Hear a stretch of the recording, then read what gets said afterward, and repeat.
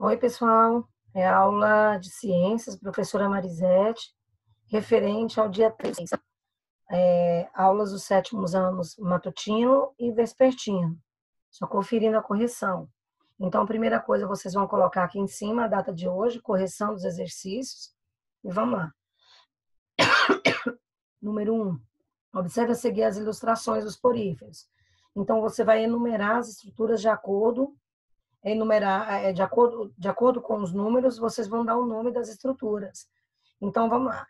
A água, o percurso que a água faz, ela entra pelos poros, circula no átrio e sai pelo ósculo. Ósculo é essa cavidade aqui, tá? Essa cavidade superior, essa abertura aqui. Então, número um é o ósculo, dois é o átrio, três são os poros, quatro são chamados de coanócitos. Esses coanócitos eles são referentes a células especializadas, então aqui ocorre a digestão, ocorre toda, toda o desenvolvimento desse animal fisiologicamente, tá? E o número 5 são espículas, que é a forma que faz parte da estrutura do porífero. Na letra B, da página 228, vocês vão ver aí. Escreva o número da estrutura que se refere a cada uma das sequências. Então, aqui são as a, a, a descrição das estruturas que estão citadas no desenho acima. Então, como que vai ficar essa sequência? A abertura superior do corpo dos poríferos, que são chamados de ósculos, é o número 1. Um, cavidade interna do corpo dos poríferos, né, que é o número 2, que é o átrio. Então, você tem aí estruturas pelas quais a água entra e sai dos poros, dos poríferos, que é a estrutura que são os poros, e estrutura que participa da sustentação do corpo, dos poríferos, que é a parte 5, que são as espículas. Então, a sequência vai ser 4, 1, 5, 3, 2. Então, vamos lá. Letra C da página 228. Você tem aí, descreva o caminho do fluxo da água do corpo. Foi o que eu acabei de dizer para vocês. Então, a água entra pelos poros, ela circula no átrio, tá? Graças ao movimento dos coanócitos, que captura alguns micro-organismos que estão presentes na água, por isso chamado de filtradores, e é liberada pelo ósculo, que é a cavidade externa, tá? Aquela parte de cima lá. Então, vocês vão marcar um X nas principais características dos poríferos. São animais filtradores, são pluricelulares e heterótrofos, ou seja, pluricelulares, têm várias células, e heterótrofos, não produz seu próprio alimento. As formas adultas não se locomovem, são animais que vivem fixos em rochas. Tá ok? Então vamos lá, página 229. Na página 229, está falando sobre o branqueamento dos corais. Então, primeira coisa, esses corais eles têm função para quê? Tem importância. Uma, importância econômica, tá? Porque serve para o turismo. Outra, né, é, importância de alguns animais, serve de alimento para alguns animais.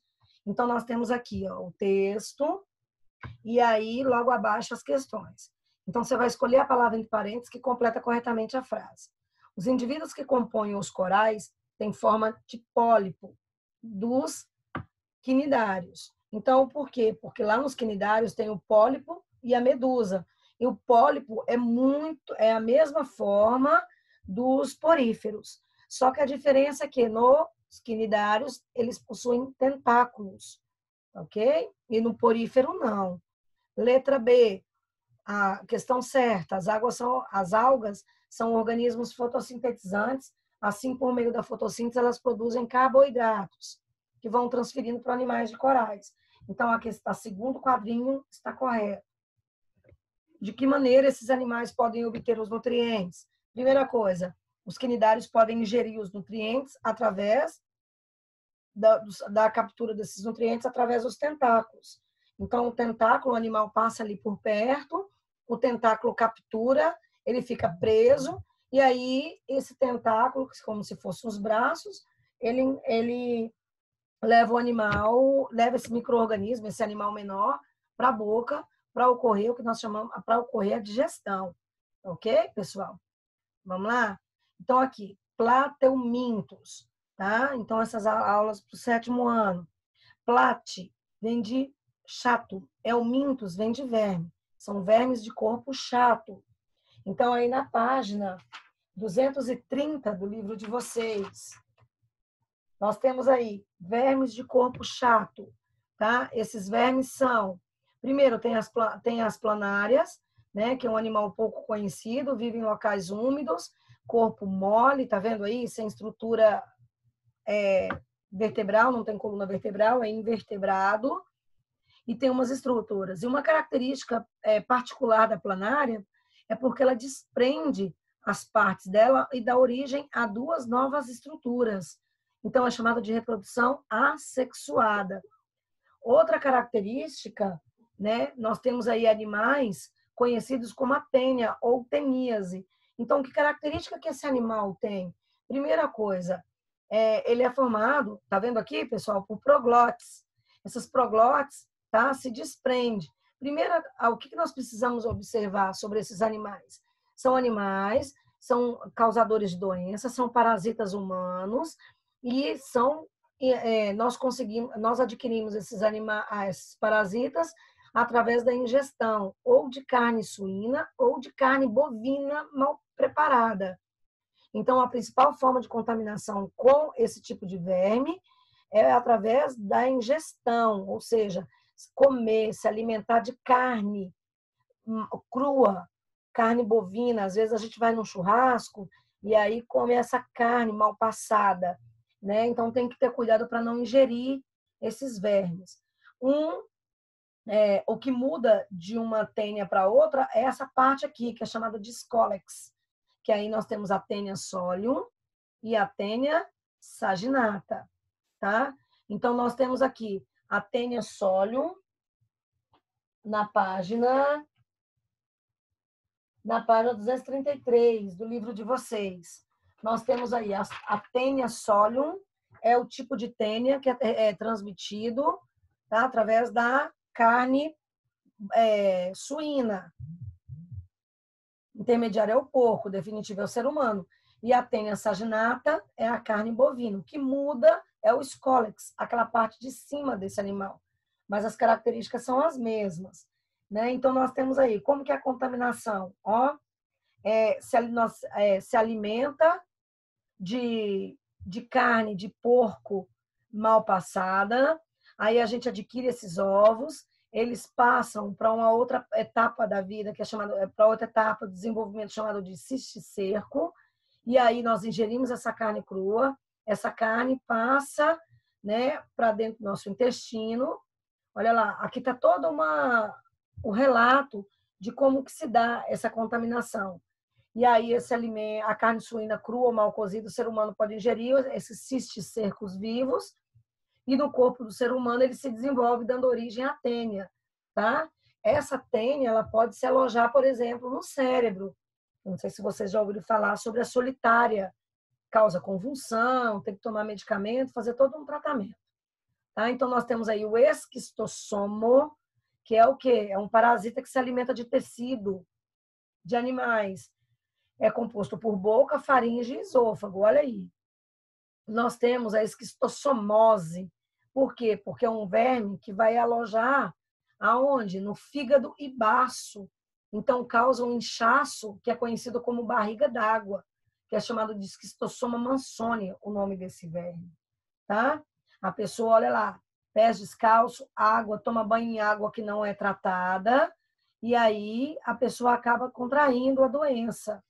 Utiliza isso aí, né? Então vamos lá. Você tem aqui a esquistossomose. Então, nós temos aí as lavas que penetram na pele do ser humano, que está em contato com a água contaminada. E se vocês observarem aqui logo do lado, é onde as pessoas defecam. Então, as fezes caem dentro da água, as, pessoas, as fezes caem dentro da água e a água fica contaminada. Tá? Então, vamos lá para a página 236 do livro de vocês. Página 236. Nematelmintos, nematóideos ou nematelmintos. São vermes de corpo cilíndrico. É o caso da lombriga, tá? A lombriga que nós estamos vendo aí é um nematelminto, porque tem um corpo cilíndrico. E as extremidades dela são finas. Então, nós vamos observar aí. É, podendo, nós podemos encontrar esse tipo de nematelminto, de parasita, aonde, pessoal? Em plantas, animais, é a ingestão de alimento mal lavado e maltratado, caso não lave os alimentos, e aí a gente pode contrair esse animal. Ok, pessoal? Então, vamos lá. É, a gente vai falar sobre a lombriga, né? Que é a, é, a, a, ascaris lombricoides. Então, nós temos a estrutura masculina, feminina e a estrutura masculina. Vocês vão ver uma diferença anatômica e vocês vão observar que a fêmea é maior que o macho. Então, as lombrigas estão aonde? No esôfago e no intestino. Então, como que através disso aí? Contaminada através de alimento mal lavado. Olha o ciclo da Ascaris lumbricoides, tá ok? Você vai se alimentar, ingerir um alimento mal lavado, mal preparado. Essa vai passar para lá, ó, para o intestino, para o estômago. E aí, sabendo que antes, quando chega ao intestino, esses ovos eh, migram, migram principalmente para os pulmões, onde se desenvolve. Então, olha só, às vezes, eu não sei se vocês já ouviram falar que aquele medicamento Anita que serve para verminose, para é, indicado, prescrito a maioria pelos médicos para verme, para criança, ele agora está com restrição. Por quê? Porque ele serve para verme. Mas olha só, ele também, esse verme passa pelos pulmões, onde se desenvolve. Depois ele vai para o esôfago, depois ele volta para o intestino. Então tem que ter muito cuidado, tá? E aí, essa questão desse, desse remédio para verme, ele agora está com restrição. Por quê? Por conta da composição química dele, devido a essa epidemia, pandemia. Então, vamos lá. Quais são os sintomas? Então, quais são os sintomas de verminose, de ascaridíase? Sim, é isso mesmo, inflamação nos pulmões. O processo de bronquite, de inflamação nos brônquios. Coceira na pele, tá? aumento do volume abdominal, retenção de líquido, vômitos, cólicas, tá? Aí nós temos aí os ancilóstomo. Ele também é um tipo de verme nematelminto, que é ancilostossomose. Corta a parede do órgão e muda frequentemente de lugar, é, causando feridas abertas no intestino, no caso do homem, né, que é o hospedeiro. Então lá, para vocês verem. A pessoa anda descalço, o ambiente contaminado, contamina a pele, principalmente pelos pés. As larvas circulam na corrente sanguínea do corpo, vai para coração, pulmões e esôfago. No intestino reproduz e forma, e forma os ovos. Os ovos ancilostossomos são liberados. E aí tem todo um ciclo. Olha só, as áreas que pode atingir. Tá? E tem tratamento. Quais são os sintomas? Tosse, febre, náusea. Então, como que se evita doenças causadas por verme, pessoal? Através de quê? De conscientização, através da higiene. Um dos fatores é a questão da higiene, a questão do conhecimento, que é o que vocês estão tendo. Né? Exigir saneamento básico. O que é o saneamento básico? É o tratamento da água, o tratamento do esgoto, a coleta do lixo, lavar as mãos, né? lavar os alimentos antes das refeições, construir fossas sépticas tá? em locais adequados e também ter o cuidado, caso não tenha água encanada, é, caso da é, é, construção de cisternas. Tem que ter muito cuidado sobre isso, para não construir fossas sépticas próximo às cisternas, porque pode contaminar a água, tá? Lavar e cozinhar bem os alimentos e andar calçado. Tá? Então, aí vocês têm aí a correção da página 240. Então, tem, vocês vão comparar a primeira coluna com a coluna correspondente.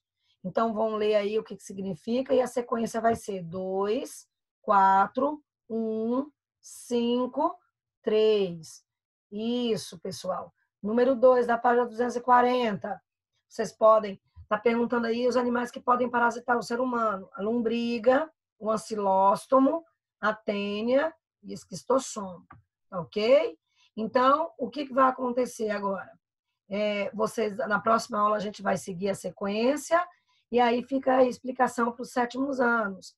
Sétimos anos A, B, C e D e sétimos anos vespertino, F, G, ok? Um abração, fique com Deus.